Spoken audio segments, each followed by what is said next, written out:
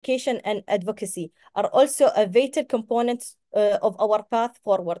We must engage and empower the next generation of leaders